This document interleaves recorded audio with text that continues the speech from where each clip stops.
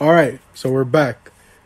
Still covering uh, the Elimination Chamber event in Jeddah, Saudi Arabia. We finished off talking about Becky Lynch versus Lita and the match that didn't happen, the Viking Raiders versus the Usos. And we move on to the main event, the men's eliminations chamber for the WWE Championship. Bobby Lashley walking in as champion to defend against Austin Theory, Seth Rollins, uh, Matt Riddle, um, Brock Lesnar, and I'm forgetting one person. AJ Styles. There we go, AJ Styles. S- Six men, and just like the women's one, you know, they get their big entrances, but also they did that weird order thing where they had the two men wait in the ring for Brock to come out. Yeah, Brock's the last one out. He's the big draw amongst the six. He's going to be in the pod. He's not starting the match. It's weird that they wouldn't let him start the match, but you think actually Brock, he's a very dramatic point of the story that's going to come later. Yeah. what a what a what do they call it? What's the uh, Chekhov's gun? What a Chekhov's gun Brock Lesnar is in a pod. It's like it's not if, it's when. Yeah, and uh, I really wish my dad was here to kind of explain a lot because, uh, much like you missed most of this match, I missed the first part because I really had to use the restroom. yeah, that's funny. And when I came out, all I see is Austin Theory was put through a pod by Seth Rollins, and Bobby Lashley is on the floor getting attended, or on the like floor of his pod getting attended to.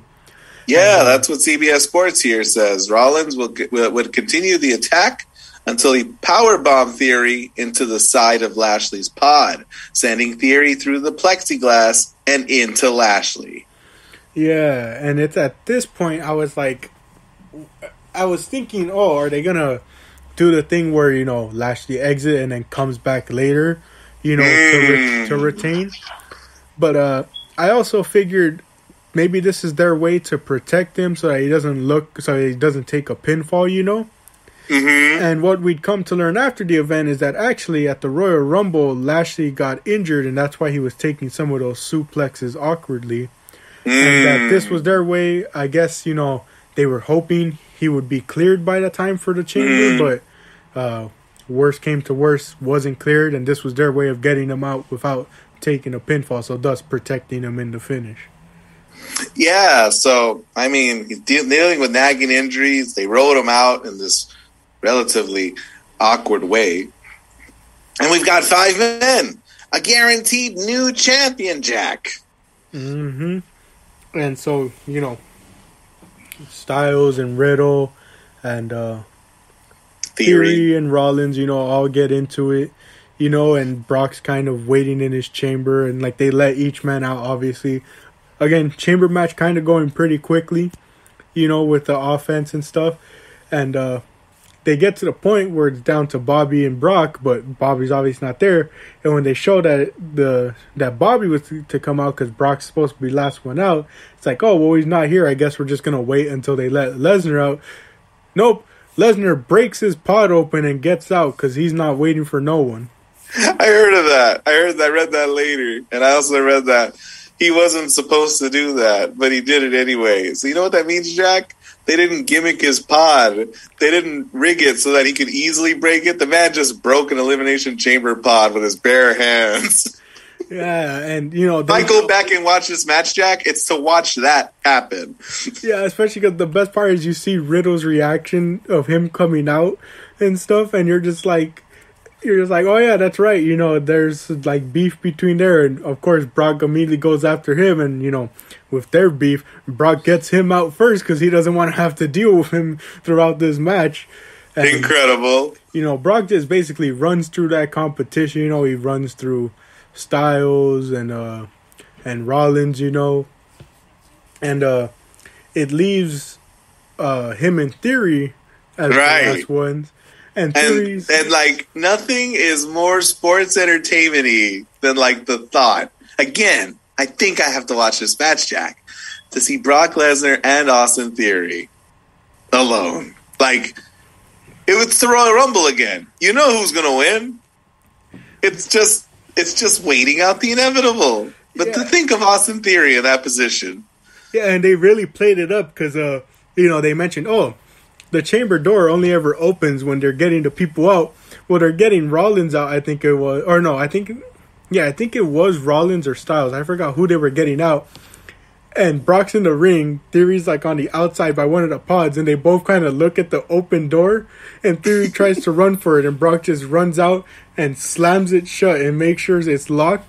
And then he just keeps trying to corner Austin, and then Austin finally climbs up to that top of the pod where Brock meets him, starts slamming him into the glass at the very top, and much to the shock of everyone, gets him up to do an F5 from the top of the pod. No. He grabs Theory, and from the top of the pod down to the grate, not not to the mat, to the grates on the outside, he F5s him. To the grate? Yeah. And Brock just like, you know, showboats to the crowd, gets down, throws Theory back in the ring and pins him and we have a new WWE champion in Brock Lesnar. Wow. It was a very rapid fire chamber and you know, like you said, everyone kind of knew what was going to happen when once uh Lashley went out, but they've managed to still make it entertaining. I mean, I, it's a match I missed, but that I am going to do my best to watch. Uh, I mean, entertaining, as we mentioned, you know, but uh, it sets up, you know, Brock versus Roman. Admittedly, Title for title. yeah, title for title. Admittedly, this is the eighth time they will go against each other. I don't know what the number is when they're one on one, because I'm including, Right. you know, the different triple threats they've had. Right? But uh I don't know. For an eighth time, I mean the twist is Brock's a babyface and Roman's a heel, and plus it's title for title, winner take all. Mhm. Going to be real interesting. And uh I bring I brought it up in the last episode. The topic I want to bring up is the brand split because with this happening, it makes you wonder: is that still going to be a thing if it's title for title? One man gonna walk out with both titles? I submit for your consideration this, Jack. Um, I want you to think back to a better time pre pandemic 2019. It was a triple threat, winner take all, women's championship match that, that ended WrestleMania. Ronda Rousey, the man at the time, Becky Lynch, and Charlotte Flair. They unified those titles seemingly, but two belt Becky, right, walked around with them for as long as she did. And then over the course of the next couple of months or a year, she lost one of them, right? Yeah. To Charlotte. Um, but like my, I wanted to just kind of create that uh, that comparison to sort of paint for you what I think is going to happen. I think one of these men holds both belts. I don't think the brands are combined, but I do think that you create this this mega final boss that has to be beaten twice, and you could make two stars out of. Yeah, that's what that's kind of what I was thinking. Cause like I, I think I was telling my dad, you know, is that uh, you know, though it would kind of you know in some people's eyes make sense to end the brand split, give people more challengers. You know, if they were going to be doing that, you would see all the titles being unified. You know, you would see Mhm. the Usos facing off against Alpha Academy at WrestleMania. You would Mhm. see Becky versus Charlotte. Um, Yeah. uh, I don't think they're in a position to merge. They have too many. They have too much talent, and they have Fox and USA that I think are breathing down their necks to be distinct, but also as good as the other guy. Yeah. You know, it was something I was talking about with my dad a lot because I was like, I was trying to weigh out the pros and cons. I was like, well, the pros would be, you know, you widen a lot of your divisions, you know, like Yeah, you give Roman more challengers by giving him AJ Styles, Randy Orton, Mhm. Seth Rollins, Kevin Owens again, you know, hmm that WWE title scene, Big E, you know, but Yeah. then, you know, and it, it does the same for all the divisions. The tag division Yeah. now has more tag teams rather than a Mhm. few. The women's division has more, but then the con was that means kind of less people getting a shot, like me and my dad were talking about, you know. I hear you. Yeah, I um, I think Roman is more beatable than Brock. Like you put him on Roman, and like Seth got close, right? Mm, yeah. Um, he's had that title for long enough where if he loses the Universal one, he um. uh, Sorry for the long pause. I was gonna say um, he could lose one, still have the other, kind of not lose face, but also build a star in his loss. But also remember that face he was making to the the WWE Championship at the Royal Rumble, scoffing it as the inferior title. Yeah. Jack, what if he beats Brock and then just vacates it? There you go. Let's start a tournament then. Yeah, I mean that that's kind of what I was thinking too, and like a lot of people have been thinking is that well, you know, if he wins both, it means he can finally drop one, hmm you know, and then still kind of continue. Like the the booking that I've seen, a lot of people is like, oh, he can finally drop the Universal title, and then continue on with the WWE title with like a fresh set of competitors. hmm And it just makes you wonder how are they going to approach it because you know with Becky we saw you know she defended the SmackDown and Raw one separately. You know she would have two separate matches, hmm and so it's like I wonder if they'll do the same for Roman where he either defends it twice or he defends them both at the same time until there comes a point where there's two separate challengers for each title. Gosh, if it's Brock, literally no one can beat Brock. Who can beat Brock? Goodness gracious. It's going to be real interesting the decisions they make in the coming months when it comes to those two titles. Yeah, like like you hate to see the WrestleMania be two nights, but there's just one match with both titles at stake, right? Like come on, Jack, we're filling two nights. Yeah, We're you know, filling two cards and you put both titles in one match? Then what's the matter with you? yeah, and you know, looking at the previous two manias that have been two nights, it's like, despite being two nights, it's not like we've seen a lot of their other titles be defended on those nights. Sami Zayn? Oh, he's going to put it up against Knoxville. When we do get a title match, Jack, it's going to be some joke of a match like that. Oh, go no. Yeah, it's like, you know, uh, last year at Mania, okay, we did see the Raw tag titles defended, but I don't think we saw the SmackDown ones defended. I think they were defended on SmackDown. Yeah, and then uh, we saw the IC and US title, yes. We Yep. saw the women's ones and the women tag one. I totally forgot the women's tag team championships were even a thing right now. It's Carmella and um, Zelina Vega Yeah. currently. But it, it like I mean, if they're not gonna have that WWE match, then you at least hope they put those mid card titles there and use that those slots that are open to build up the mid card and upper Yeah. card. Especially because on the SmackDown side, things have just really become difficult to understand. Of like, well, who's considered the upper card and who's considered the mid card? You know, Roman is the upper card. Everyone else is the lower card. there is much- no mid. Just like there's no, uh, just like there's no, um, what they used to call the middle class. There's no more middle class. Yeah, I mean, at least on Raw, you know, things are pretty established. I mean, somewhat, because I mean, you still have certain guys challenging for mid card titles. and guess what? I mean, we've got Rollins and Owens, and uh, we've got folk who like they don't have anything going on right now. Yeah, It's all really up in the air. yeah, I heard uh, somebody t- say this morning in a, a news video that Balor is going to challenge for Damian Priest's U.S. title. Oh yeah, but that's And they said that'd be great, Demon Finn Balor versus Damian. I was like, oh, I, I threw up in my mouth. I was like, oh, stop, stop. yeah. I mean, you know, they're gonna be having it on Raw. Obviously, it being a weekly show, I expect some type of shenanigans that hopefully pushes the actual match to Mania. Mhm. But like, I don't know. There's a ton of there's a ton of people that don't have a lot going on. Yeah, and we're like a month and a half out from Mania, man. Yeah, I mean, we're only hearing speculations that like, oh, maybe they want KO to face off against Stone Cold Steve Austin out of nowhere. I hope Austin tells him no. Yeah, I hope Austin says, "Hey, you should have either talked to me a year ago, or we can talk right now about a year from now." I'm not gonna roll up six weeks out from this. Yeah, and then it's like, it doesn't seem like they're going to continue off the Royal Rumble. What happened with Seth and Roman?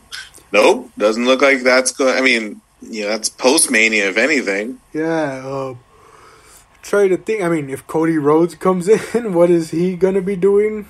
You know, if they bring him in for Mania. I hope if they bring Cody Rhodes in, I hope he's wearing polka dots and he's dancing and he doesn't acknowledge anything as being ironic. You know what I mean? Like I hope he comes and he smiles and he's, you know, a dancing fool. And I hope he just completely recreates Dusty's run. Yeah, I mean, I and then, I mean, the SmackDown side ain't looking too good either because, like we mentioned, it's like, uh, I there's barely anyone to name over there. Like, what are Cesaro, Sheamus, Ricochet, and all of them gonna be doing? Um, I mean, what is what is Balor gonna be doing come Mania? You know, as we mentioned, who knows if that thing with Priest is actually going to extend to Mania? hmm Yeah, so I don't think the, the solution is to merge the brands because I think merging the brands puts half of that roster out on the out in the cold. You know what I mean? Yeah, that was Which is like the last thing you want to do. They're they're holding Mustafa Ali hostage. yeah. My dad mentioned it too. It was like you know, if they end the brand split, what's to say they don't just you know, rinse and repeat the same stuff from each show? Like oh, you know, we already have enough rematches, even though they have more people to work with. What's Yep. to say they don't you know just do rematches from Monday on Friday? You know, Nope. so, so it's like in fact, you know, in the glory days of the Attitude Era, that's what happened. I'll never forget not having Raw, but they cover what happened on Raw, and SmackDown was God, a, you know, really close facsimile for what happened on Raw. yeah. Hey, this match got interrupted. It was by DQ, so we're going to try again on Friday Night SmackDown or Thursday at the time.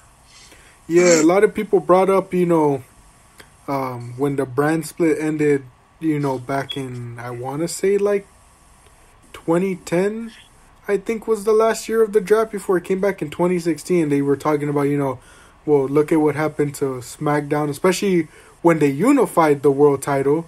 It was like, Eric- look at what happened, and it was like, you know, a lot of talent weren't on TV. There was rematch city, you know, of- Rematch and um, video packages. It was a dark time for SmackDown. Yeah, so it's like a lot of people have been saying, you know, You want a you want a surprising Royal Rumble run in? Have a video package run in as that throwback to the 2010s. yeah.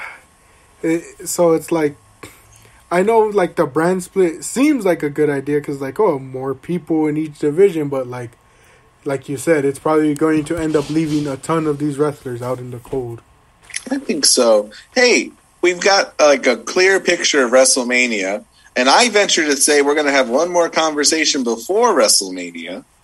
I'll tell to you about it in a second, but I want to hear your prediction, Jack. Who wins, Lesnar or Reigns? I think Reigns wins. I'm gonna pick Lesnar just to be combative. How about Lynch or Belair? I think it's got to be um, Bianca. I think so too. And how about Ronda versus Charlotte? Well, as the as the longtime listeners would know, we are both big supporters of Charlotte, and I'm just kidding. It's probably going to be Ronda.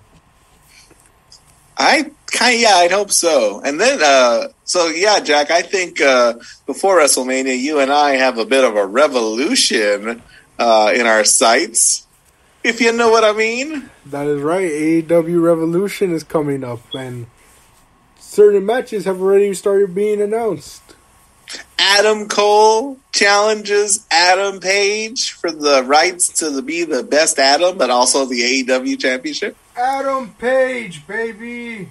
What the heck? Hey, Jack, have you seen the meme of Adam Cole holding the belt, but they make the belt real big? Yeah, I've seen that where they they made. I saw one where like they literally made it the size of him, and Yeah. like, so many people were just saying that like that belt looked too big for him.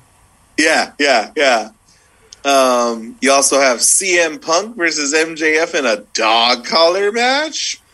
Yeah, that's Color me interested. They brought the photo out. The one They photo. brought the photo out. young MJF with CM Punk. They finally brought it out. That's what everyone's been waiting for to be referenced. Goodness gracious. For you, it was the best day of your life. For me, it was just a Saturday. or whatever day of the week it was. And then uh, we have uh, Rosa versus uh, Baker 2. Ooh. That's been announced. And then we're still waiting for all the participants, but we have the Face of the Revolution ladder match with three hosses in the match Keith Lee, Three Wardlow, guys. Powerhouse Hobbs. Yeah, yeah, yeah. Three guys that you don't expect to be a part of a ladder match. Yeah, I saw someone saying they're gonna have to bring out that ladder that Big Show brought out, the reinforced one. Uh huh. Uh huh. Agreed. Yeah, I don't know who else they're gonna announce for that match, but those three names alone already has people enticed. Absolutely. Yeah, and there's a couple other matches to be announced though. The tag team titles still need to be announced. We got to see. Something to do with Jericho and Eddie Kingston, I I imagine. Yeah, um, the TBS title. I, I'm, uh, title. I'm not watching the weekly show, but I am enjoying the thought that people are telling Jericho he's full of it and that he's holding people back and using them, and it's good character development. But you know, it's about time for this part of the development of that character. Yeah. We still got to see what happens with the TNT and TBS title too. hmm I mean, obviously those ones are kind of open challenge, but it would be interesting to see if they do have anything on that card for the two. And then Yeah. I'm trying to think of any other stories that are coming into play. Um, Jay White, he's Jay- just getting in all the trouble. yeah, uh, he recently turned on uh, the Tongans in Impact. Yes, he did. Yeah, so An impact. yeah, so What's going on, Jack? Jack, did you know that in New Japan, the New Japan Cup tournament is starting March 2nd? I saw that, and what I also saw was they increased the amount of competitors. I believe. It's a lot of competitors, and I'm not going to miss this one, Jack. I am watching this. Yeah, I mean, I I saw the amount of competitors, and I was like, I'm gonna have to keep a watch on that because that's going to be crazy, especially because all all you know all limits are off. You know, it's gonna be juniors, it's gonna be you know the different people. You know, like they're the, the weight classes aren't going to matter in this tournament. 48 men. Forty. Who do you think's going to win? Let's see. Well, Okada's champion right now. I was just going to say, it's funny. You could put a 100 men in this thing, and it's probably going to be Okada. Yeah. Jack, first round, Okada versus El Desperado. Oh Come on! man, have they announced the bracket? Because now I I need to see this. Yeah, yeah, yeah. Here, I'll share my screen. How much time we got, Jack? 21 minutes. 21 minutes to, to gush, to gush over what I I tell you what, man, I haven't been this excited in a minute. Oh man, I'm looking at some of these matchups. Oh, Uh-huh. not to go quiet on the crowd, but uh, they put they put uh, Shingo against Ishii in the first round. I'm seeing. Goodness. I love to see Minoru Suzuki get a bye the first round. He'll face either uh, Takahashi, uh, uh, Hiromu, or oh, you wearing a time bomb shirt? Yeah, Nice. Either Hiromu or SHO. Oh, I'm happy to see either of those. Oh man, I'm looking at some of these. Is um, what's his name in it? Is um, what's his name? The guy who came back from death. from Death. Uh, Uh, I'm looking at the. I'm still looking at the thing too. I see. Uh, I mean, he's always he's more than likely gonna beat him, but uh, Ibushi's going off against Okan, and then I hope he goes against Ishimori in the next round. hmm Wild. Oh man. Sanada just won the U.S. title. yeah, I saw that. I didn't see that. It got spoiled for me by Instagram. Yeah, that happened to me too. I Gosh saw it announced and I was like, I don't want to stay up for that, but maybe I'll Yeah. be able to catch you without spoilers. And And honestly, you know what's funny? I saw the announcement of uh, Tanahashi versus uh, Sanada, and I honestly thought that'd be a great ex- exhibition. It'd be fun. Nothing's going to happen. Why would anything happen? And then it happened, Jack. Yeah, his first title in New Japan, his first singles title. yeah. Jack, I'm looking for what's his name? Um, Black Shorts, the wrestler. Oh, um, Shibata. there we go. I don't see him He's on not- this list. That's He's not on this list. I guess that's for the best. Yeah, save him for the G one if he's if- if, he's able to. You know, don't put him through this grueling tournament. Put him through the G one. Hopefully, Well, um, New Japan looks like they're doing just fine with whom they have. They don't need no Forbidden Door, you know, yeah. Um, except Gedo's in a match. okay, maybe they do need a Forbidden Door. yeah. And Jado, Jado is in a match. Mm, Jado versus Chase Owens. That that's a really weird matchup to see. I'm also looking at who's getting like the bye in some of these, and it's kind of Yes. throwing me off. Like Bad Luck Fale's getting a bye, but Tanahashi isn't. Instead, he's gonna go against Yo in the first round.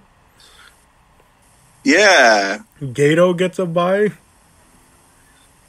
I mean, I don't know what they did, but like Douki gets a bye, Bullet Club and um, Suzuki Gun members.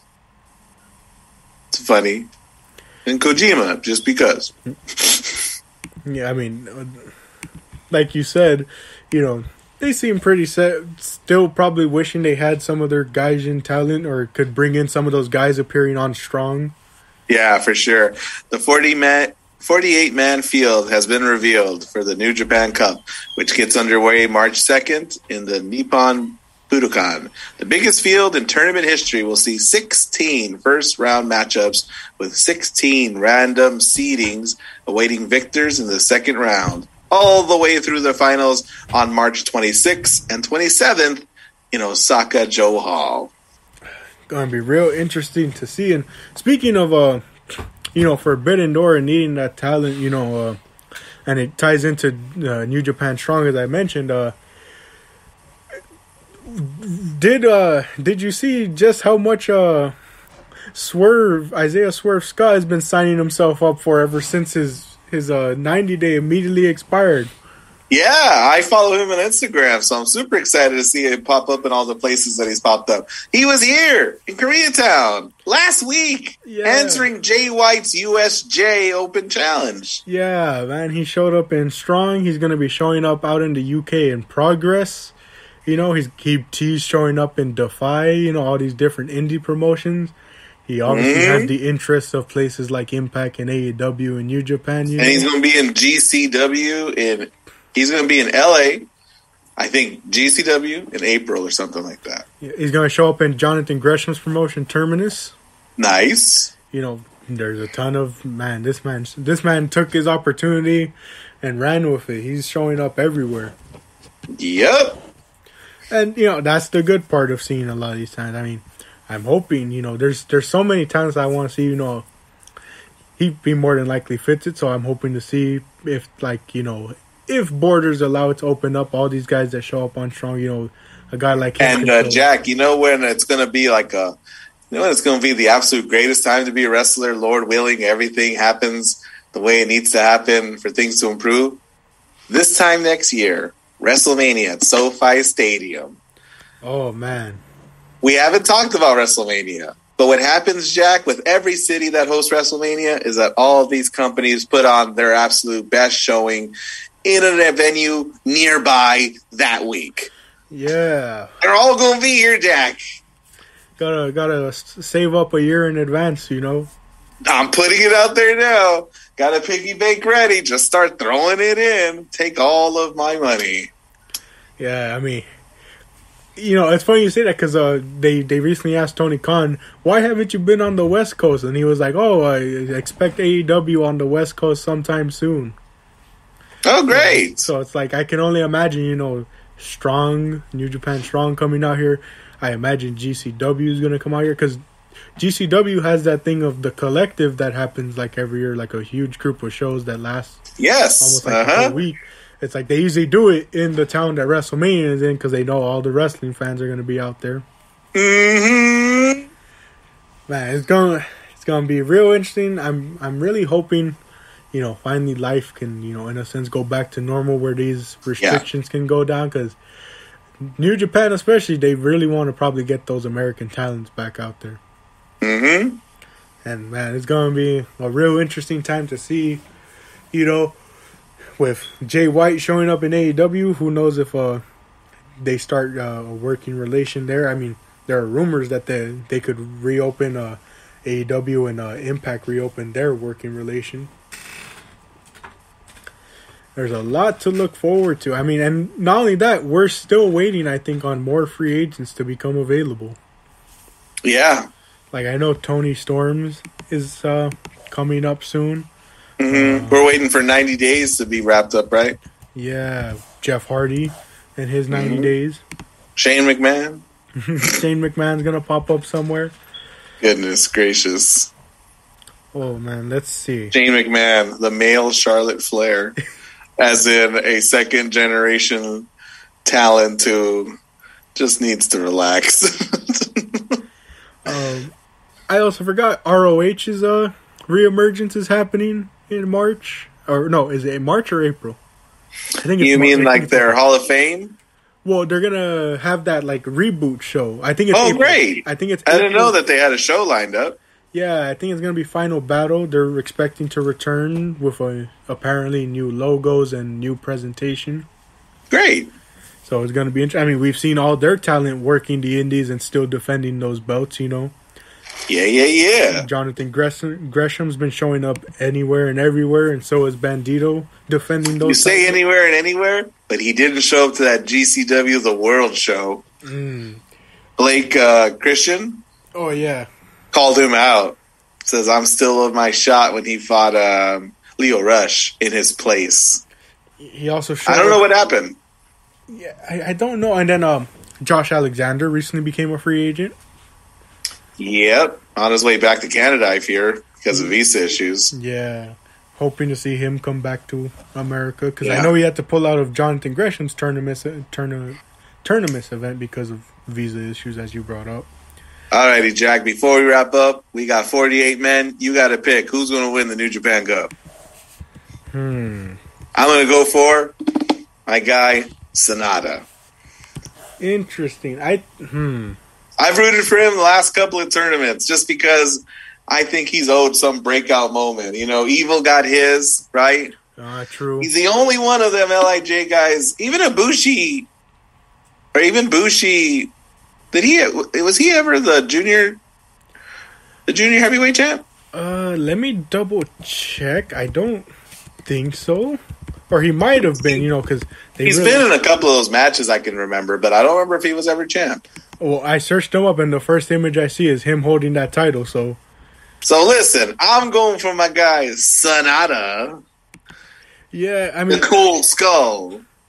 it, it's funny because you know you brought up evil, and like, there's this one video I saw where this guy was like breaking down, you know, heels and villains in wrestling. Yeah, and he broke Evil, down. aka your dad's favorite wrestler.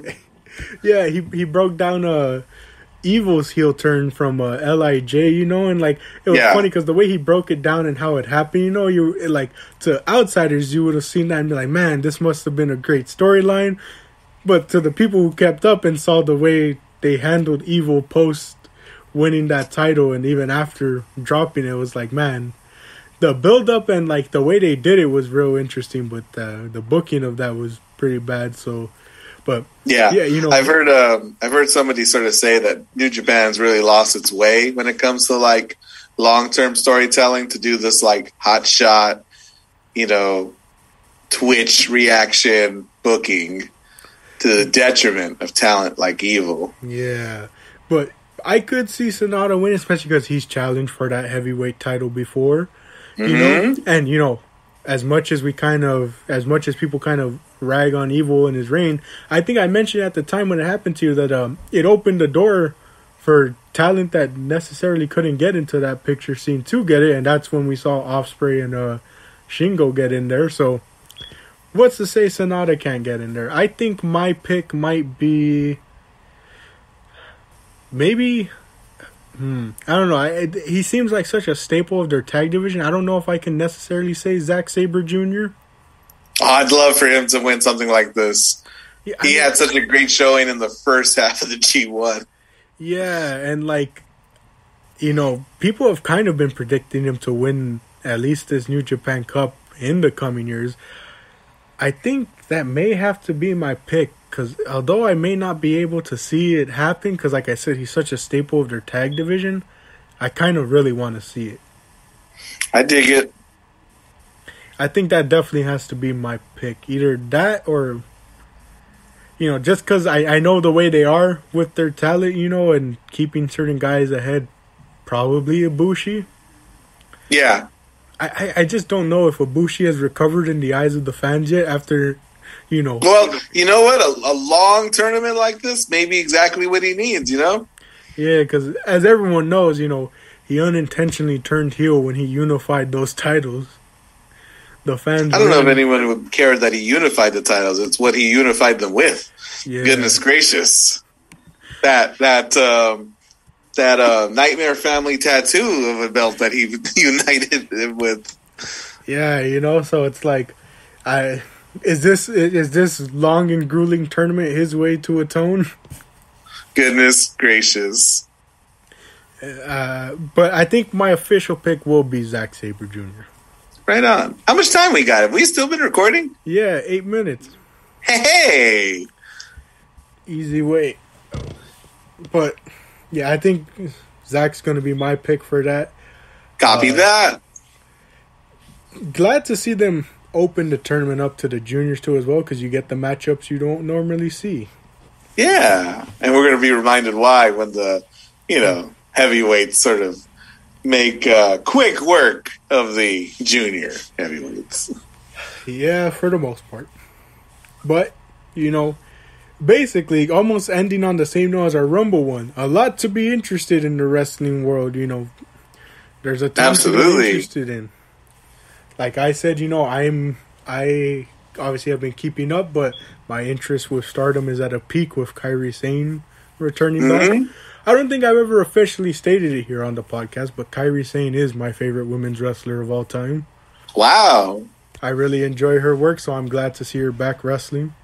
Mhm. Although I will say, you know, she's still up there, but uh, you know, because of not wrestling for the year, you know, Io probably slowly creeped up on her because Mhm. Io had that reign with her title and still was wrestling while Sane wasn't able to.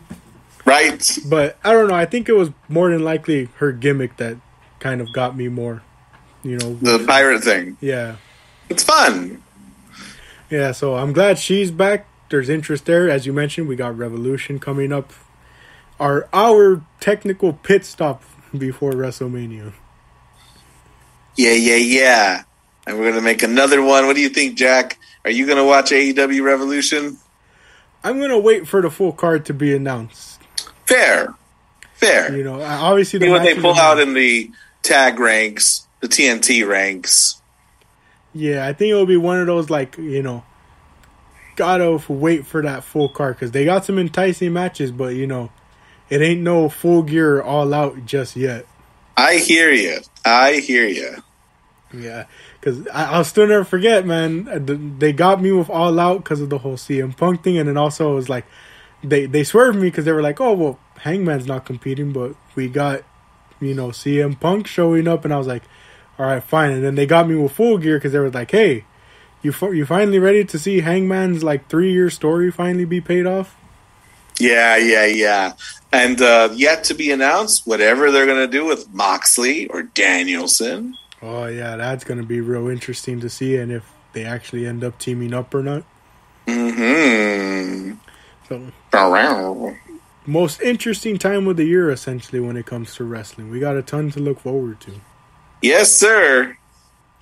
And, you know, hopefully we will be here to cover most of it. Right. You know, hopefully by the next time we're recording, we will see if Cody Rhodes has showed up, if Austin actually shows up or not. Hopefully Mhm. not. Come on.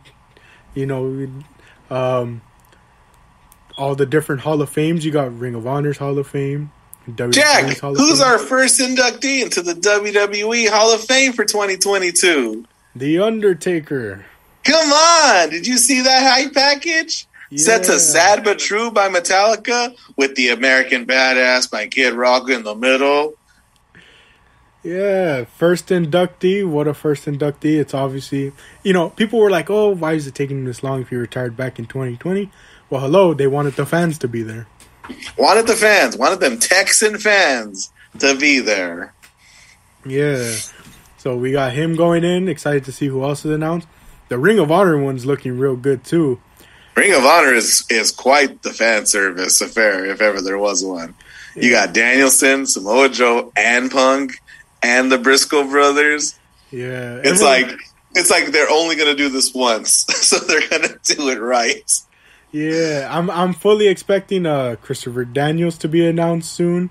Ooh, uh huh. They they got to work out some deal. If you're gonna throw in uh Daniels, uh, uh Danielson, Punk, and Joe, they also got to get in. uh They got to find a way to negotiate with WWE to let McGuinness show up. Nigel McGuinness. Mm. you know he's part of their sort of group from that time you know so it's like it's gonna be interesting to see how many people they put in for that and Owens and Zayn. yeah owens and Zayn too they gotta find a way to negotiate some type of deal to let them show up Mm-hmm. you know because man they're Well, Zayn was never a part of Ring of Honor. They'll they'll they'll get uh what's his name El Generico, and he's not tied to any company, and I'm sure everybody will be just fine. you're right you're right and uh i think you know it's cool to see them honoring them this way. And i think it's also gonna show so many people just how many of these companies uh were truly birthed or not birthed but you know really benefited from an indie company like ring of honor. Absolutely, because just Goodness those names alone danielson punk and joe it's like wow. Rollins, you know, oh yeah if they get rollins or they're gonna get rollins in there one way or another. Yeah, yeah, yeah. You go, oh yeah, this thing was like a monster factory of today's who's who in wrestling. yeah so man ton of stuff to look forward to in the wrestling world